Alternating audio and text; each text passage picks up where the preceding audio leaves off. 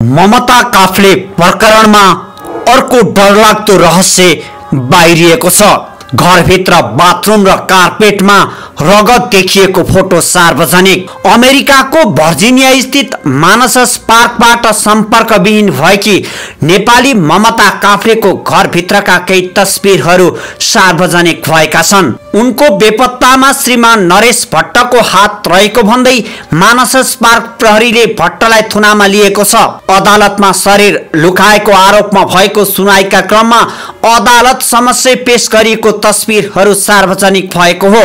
स्थानीय अनलाइन समाचार portal fox five dot कमले सार्वजनिक गरेको तस्बिरहरूमा भट्टको कोठाभित्र कार्पेट र बाथरुममा रगतका टाटाहरू देखिन्छन्। ममता पन्ध्र साउनबाट सम्पर्कविहीन भएकी थिइन् भने घरमा भारी मात्रामा रगत बगेका सहितका तथ्यहरू फेला परेको मानसस पार्क प्रहरीले सात भदौमा नरेशलाई पक्राउ गरेको थियो। नरेशलाई पक्राउ गरेर लैजाँदा मानसास प्रहरीका अधिकारीहरूले घरबाट कार्पेट पनि लगेका थिए। अदालतमा भएको सुनवाईका क्रममा अभियोजककर्ताका वकिलहरूले गरेको बहस अनुसार ममता जीवित नभएको प्रहरी निष्कर्ष रहेको छ। कोठाभित्र झगडापछि रगताम्य भएको शरीरलाई बाथरुमसम्म घिसारेर लगेको हुन सक्ने अधिकृतहरूको आशंका छ। अहिले सार्वजनिक भएको कोठा र बाथरुमका तस्बिरहरूले पनि शङ्कामा बल पुर्याएको छ। अधिकृतहरूले कोठामा रगत भए नभएको पहिचान गर्न ब्लू स्टार प्रविधि प्रयोग गरेका थिए। त्यस अनुसार रगत भएको स्थानमा अध्यारो पारेर हेर्दा निलो रङ देखिन्थ्यो। यसरी जाँच गर्दा पनि रगतको मात्रा देखिएको छ। त्यसको आधारमा उनी जीवित हुने सम्भावना नरहेको अधिकृतहरूले बताएका थिए।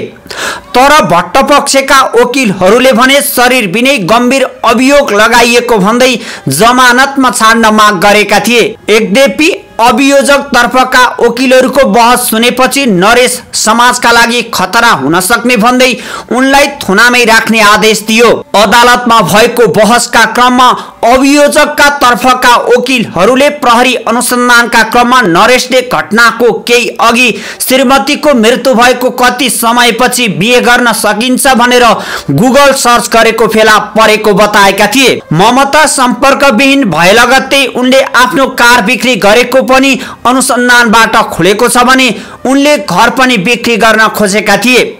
ममता र नरेशबीच सामाजिक सञ्जालबाट चिन्जान भएर चार वर्ष अघि विवाह भएको थियो। पछिल्लो समय उनले घरमा आफू विरुद्ध हिंसा भइरहेको भन्दै साथीहरूलाई सुनाएकी थिइन्। उनले सम्बन्ध विच्छेद गर्ने बारे समेत छलफल गरिरहेको पाइएको छ। त्यही बिचमा यो घटना भएको हो। उनीहरूको एक वर्षको छोरी समेत छिन्। छोरीको रेखदेखका लागि काभ्रेको पनौती स्थित ममताको माइती पक्षबाट आमा र दाई अमेरिका गएका छन्। प्रहरीले ममताको खोजी कार्यलाई भने जारी राखेको छ। माइतीसँग निरन्तर कुरा गरिरहे अन्तिममा आफै संलग्न देखिए। अमेरिकाको भर्जिनियाबाट नर्स ममता काफले भट्ट नेपालमा रहेकी आमा गीता काफ्लेलाई दैनिक जसो भिडियो कल गरिरहन्छन्। तर पनौती छ काभ्रेमा रहेकी आमा गीतालाई गएको पन्ध्र साउनमा छोरीको फोन आएन।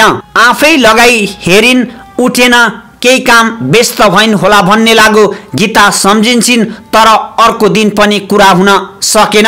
लगातार तिन दिनसम्म सम्पर्क नभएपछि उनले ज्वाइन नरेश भट्टलाई फोन लगाइन्।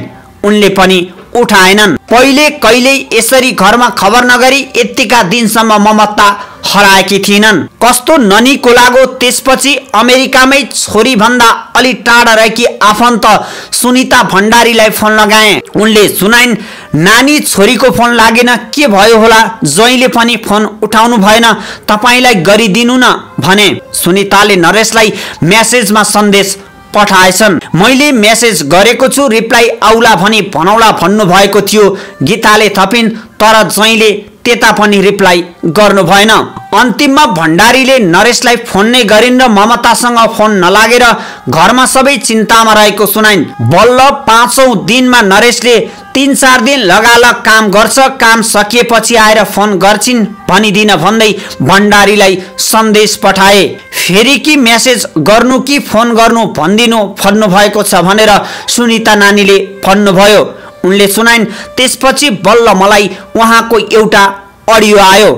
एक्काइस साउन अर्थात् छ दिनपछि आएको अडियोमा नरेशले भनेका छन् फोन गर्न मिलिरहेको छैन।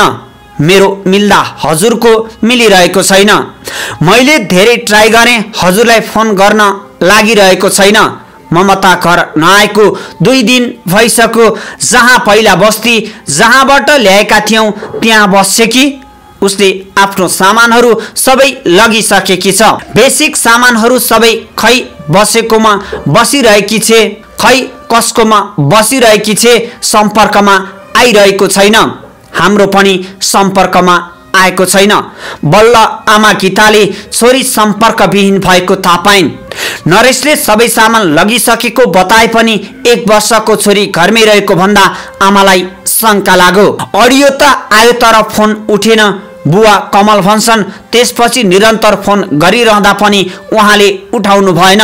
बुबा आमाले छोइलाई किन फोन नउठाएको भन्दै प्रश्न गरिरहे। तपाईँलाई भन्दा मलाई पीडा छ मेरो पनि परिवार हो। बच्चा छ सानो बच्चाले काहीँ जान दिइरहेको छैन। मैले खोज्न जान पनि पाइरहेको छैन। नरेशले रुखो जवाब फर्काए। मेरो छोरी तपाईँको जिम्मा लगाएको हो। तपाईँले के गर्नुभयो? तपाईँकै हातको कुरो हो। गीताले ज्वाइँसँग ढिपी गरिन्। के भएको हो? भन्नुहोस्। मैले केही भनेको छैन। न मैले साह्रो बोलेको छु। कहाँ गइन्? थाहा छैन। नरेशले भनेका थिए। आमा गीताका अनुसार यसो भनिरहँदा नरेशको अनुहारमा कुनै बदलाव थिएन। छोरी हराएपछि पनि लाजै नमानी कुरा गरिरहनु भयो। गीता भन्छन् अध्यारो मुख पनि लगाउनु भएन। उनले नातिनीलाई देखाउन भनिन्। त्यसपछि केही दिनसम्म दिनमा एक दुई पटक नातिनी चाहिँ हेरे उनी भन्छन् तपाईँको घर वरिपरि कस्तो छ हेरौँ भन्दा देखाउन मान्नु भएन। निकै कर गरेपछि बल्ल नरेशले दुईवटा कोठा र बाथरुम देखाए। घर उता उता पनि देखाउनुहोस् भन्दा तलतिर खोला छ भिर छ ठुलो भन्नुभयो। गीताले भनिन् त्यसको माथि बनै बन्छ घर पछाडि भन्नुभयो। काभ्रेबाट आमा बुवाले अमेरिकामा रहेका चिन्जानका अरू नेपालीहरूलाई पनि फोन गरेर सहयोग गर्न अनुरोध गरे। केही प्लेनमा तिन चार घन्टा हिँडेर पनि छोरी बस्ने घरमा पुगे तर स्वैँले भित्र कसैलाई छिर्न दिएनन्। गीता भन्छन् बरु मलाई फोन गरेर को हुन् ढोकामा मान्छे आएको आए गर्छन् भन्नुभयो। उनका अनुसार नरेशले तपाईँले को मान्छे पठाउनु भएको हो? नेपालीहरू नै हुन् मैले ढोका खोलिन भनेर फोनमा बताएका थिए। गीताले आफ्नो मान्छे आएकाले ढोका खोलेर घर देखाउन भन्दा नरेशले मानेनन्। सरिता न्यौपाने भन्ने बहिनी जानुभएका बेला चाहिँ किचन कोठासम्म देखाउनु भएछ। माथि जान दिनु भएन। आमा गीता भन्छन् प्रहरीलाई ढिलो खबर गरे अनुसन्धानमा असहयोग गरे। दुई दिनसम्म अस्पतालमा काम गर्न नआएपछि अठार साउनमा UVA Health Prince William Medical सेन्टरमा काम गर्ने ममताका सहकर्मीहरूले लेन्स चेकका लागि प्रहरीलाई खबर गरे। अमेरिकामा कसैको आफन्त वा साथीभाइले सम्पर्क गर्न छाडे वा आत्महत्या वा अरू कुनै शङ्कास्पद गतिविधिमा भएको हुन सक्ने शङ्का लागे। कानुन कार्यान्वयन अधिकारीलाई ऊ भए नभएको जाँचका लागि अनुरोध गर्न सक्ने व्यवस्था छ। यस्तोमा सम्बन्धित व्यक्तिको घरमा जाँदा उनले रेस्पोन्स नगरे अधिकारीहरूलाई बल प्रयोग गरेर घरमा छिर्ने अधिकार पनि रहन्छ। यसरी भट्टको घरमा प्रहरी पुग्दा नरेशले ममता घरमा नभए पनि तत्काल उनी हराएको भनेर खबर गर्न नचाहने बताएको अमेरिकी समाचार संस्था सिएनएनले लेखेको छ। प्रहरी घरमा पुगेको तिन दिनपछि बल्ल उनले श्रीमती ममता हराएको भन्दै प्रहरीलाई खबर गरेका थिए। अन्तिम पटक एकतिस जुलाई सोह्र साउनमा देखेको बताएका थिए। मानस पार्क प्रहरीले त्यसपछि जासुसहरू समेत प्रयोग गरेर वृहत खोजी गर्यो। प्रारम्भिक जाँचपछि ममता सम्पर्कविहीन भएको प्रकरणलाई मानसस प्रहरीले गम्भीर घटनाहरूको सूचीमा राख्यो र ठाउँ ठाउँमा सर्च अपरेसन चलायो। भर्जिनिया स्थित नेपाली समुदायकी अभियन्ता प्रभा भट्टराई देउजा कान्सार अमेरिकामा रहेका नेपाली पनि एकजुट भएर ममताको खोजीका लागि शान्तिपूर्ण प्रदर्शन गरिरहे। यहाँका सञ्चार माध्यमहरूसँग कुरा गर्नेदेखि लिएर सामाजिक सञ्जालमा पनि ममताको व्यापक प्रचार गर्यौँ। उनले सुनाइन् सानो बच्चा अलपत्र परेपछि यहाँको अमेरिकी समुदायले पनि खोजीमा चासो देखाएर प्रदर्शनमा सहभागी भयो। सुरुमा बच्चाको हेरचाह गर्नुपर्ने भन्दै नरेश शान्तिपूर्ण प्रदर्शनमा सहभागी भएनन्। ममता हराएको प्रचार गर्न भन्दै गरिएको भेलालाई उनले एकपटक फोनबाट सम्बोधन गरे पछि उनी एक दिन भेलामा पनि देखिए।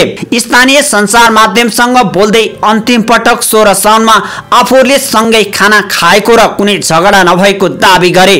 छोरीको जन्मदिन लगत्तै गिरफ्तारी। मानस पार्क प्रहरीले सोह्र साउनबाट ममता हराएको र खोजीमा नागरिकको सहयोग चाहिएको भन्दै विज्ञप्ति जारी गर्यो। ममताको खोजीको लागि भएको प्रदर्शनमा सहभागी अभियन्ता देउजा कान्सार चार भदौमा उनकी छोरीको पहिलो वर्षको जन्मदिन थियो।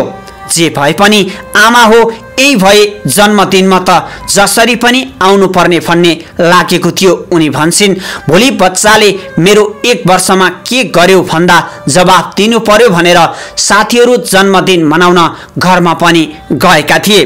तर ममताको त्यो दिन पनि कुनै खबर आएन।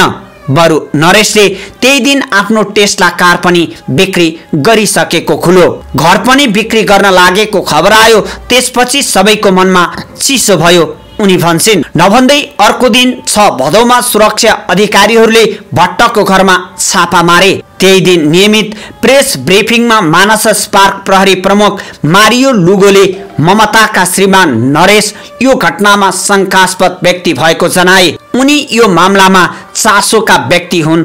त्यो सबैलाई थाहा छ मारियोले भनेका थिए। उनले अनुसन्धान पनि सहयोग गरेका छैनन्। अर्को दिन सात भदौमा स्थानीय एबिसी सेभेनले मानसोस पार्कका प्रहरीले आएर नरेशलाई हत्कडी लगाउँदै बाहिर निकालेको भिडियो सार्वजनिक गर्यो। प्रहरी अधिकृतहरूले घरको कार्पेट पनि निकालेर फरेन्सिक भ्यानमा हालेको देखिएको थियो भने छोरीलाई ब्ल्याङ्केटले छोपेर बाहिर निकालिएको थियो। यसबारे मानस पार्क प्रहरीले विज्ञप्ति जारी गर्दै सब लुकाएको कसुरमा नरेशलाई पक्राउ गरिएको बतायो। भर्जिनिया स्थित अनलाइन सञ्चार माध्यम डब्लुजेएलए डट कमका अनुसार सोमबार अदालतले पनि नरेशलाई बाहिर छान्नु सुरक्षा चुनौती। हुने भन्दै हिरासतमा राख्न अनुमति दिएको छ। अदालतमा नरेश पक्षका वकिलले पर्याप्त प्रमाण बिना मुद्दा चलाएको दावी गरेका थिए भने प्रहरीले घरमा सप रहेको र त्यहाँबाट घिसार्दै बाहिर ल्याएको आधार भेटाएको प्रमाण अदालतमा बुझाएको थियो। घरमा छापा मारेका बेला बेडरुम र बाथटपमा रगतको छिटा भेटिएको प्रहरीले जिकिर गरेका थिए। हालसम्म डिएनए जाँच पनि भइसकेको छैन। अनलाइनबाट चिन्जान अनि विवाह ममताका बुबा कमल कान्सार हाल प्रहरी नियन्त्रणमा रहेका नरेश र ममता बीच सामाजिक सञ्जाल मार्फत नै चिन्जान भएको थियो। कञ्चनपुरका नरेश अमेरिकातिर बसेको चार पाँच वर्ष भइसकेको थियो। उनले आफू अमेरिकाको सेनामा काम गर्ने भन्दै वर्दीमा भएका तस्विरहरू पनि पठाउँथे। हाम्री छोरी पढाइमा तेज दिन बाह्र कक्षा सकेपछि बेङ्गलोरमा गएर नर्सिङ पढिन्। त्यहाँ टप गरेकी थिइन्। कमलले भने पछि उनले नै भनेपछि विवाहको कुरा अघि बढेको थियो। त्यसपछि पनौतीमा धुमधामसँग नरेश र ममता बीच दुई हजार सतहत्तर सालमा मक्सिरमा विवाह भएको थियो। सामान्य परिवार हो सानो पसल चलाएर ऋण गरेर छोरी पढाएका थियौँ। कमल भन्छन् बिहेपछि अमेरिका लगे राम्रै होला भन्ने लाग्यो तर यति पापी रहेछ कि हाम्रो छोरी नै निचोरिदियो छोरी बेपत्ता भइसकेपछि बिना हिचकिचाहट कुरा गरिरहेको स्मरण हुँदा छन् औडाहा हुने कमल बताउँछन्। राति बाह्र एक बजेसम्म निन्द्रा लाग्दैन। अझै पनि म अमेरिकाका अधिकारीलाई भन्छु कि सास देऊ कि लास देऊ? उनी भन्छन्। भर्खरै जन्मिएको बच्चाको झन् बिचल्ली भयो यतै ल्याउन पाए राम्रो हुन्थ्यो। यस घटनामा तपाईँहरूलाई के कस्तो लाग्यो? थप फलोअप रिपोर्ट हामी लिएर आउनेछौँ।